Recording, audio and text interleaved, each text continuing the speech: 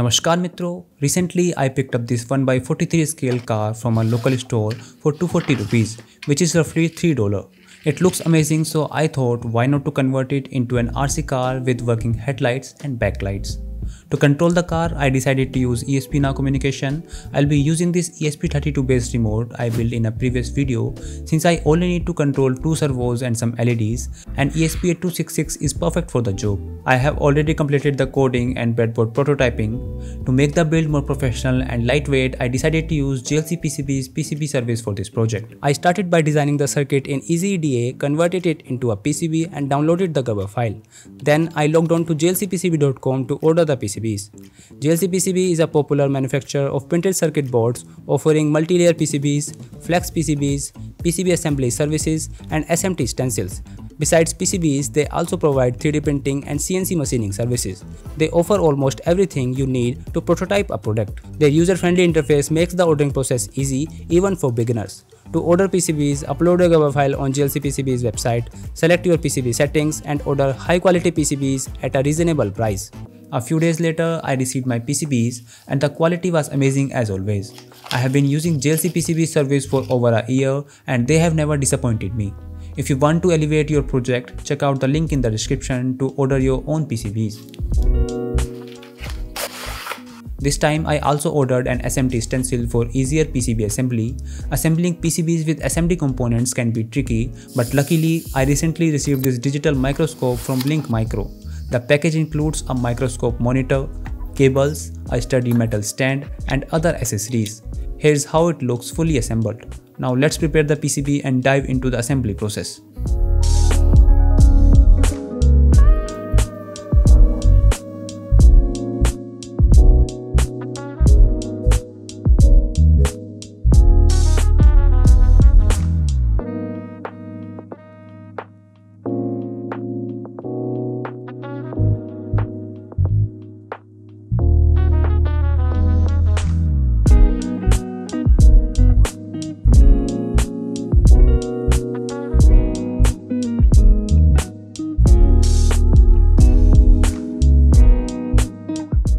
It's a 4K 60fps digital microscope that can simultaneously record and display high-quality microshots on its 10.1-inch UHD monitor.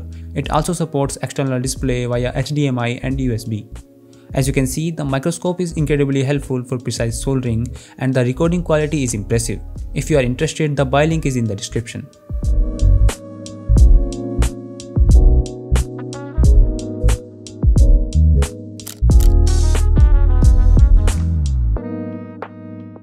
Alright, the assembly is complete and the result looks fantastic. Now let's upload the code. You can use any programmer to program your board, but I'm using this cap of ESP programmer.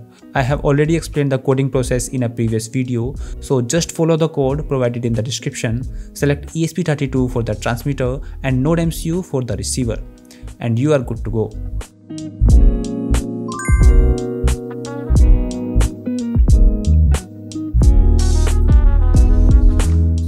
That's it, the transmitter and receiver are working perfectly. I initially used these 4 buttons for throttle and steering trimming, but now I have repurposed the throttle trim button to control the headlights and backlights. Now it's time to convert this pullback car into a fully functional RC car.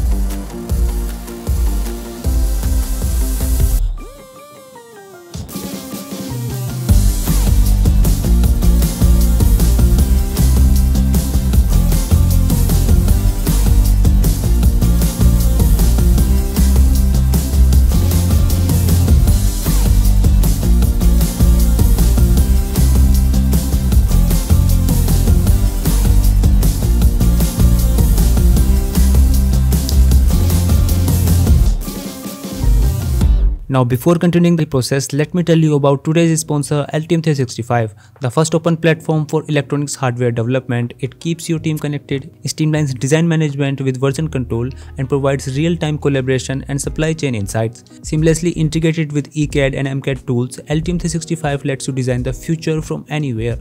Bring your next big idea to life with Altium 365. And if you are a student and want to be job ready in electronics design, then try Altium Student Lab. Just enter your university email to get started for free. You will get free access to PCB design courses, Altium Designer and Altium 365. So you can collaborate with your mates, earn a certificate that recognized by top industries in India, learn real skills that lead to real job with Altium Student Lab. Check the link in the description.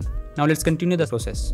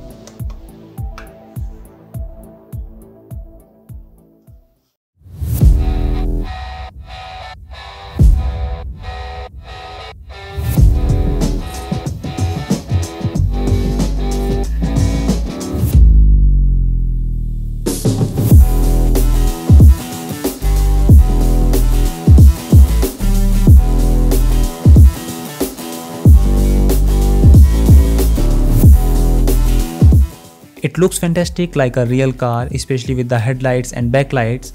The throttle, steering and lights work perfectly but there's one issue, the heavy metal shell cover which weighs 65 grams slows the car down since the chassis itself only weighs 45 grams. I think I should have added more gears to compensate, but without the shell, the car runs much faster and can even drift nicely. Overall, I am happy with the results, but I'll work on improving the performance in future versions. If you enjoyed this video, please consider liking, sharing and subscribing to our channel. That is it for today guys, I'll see you in the next one.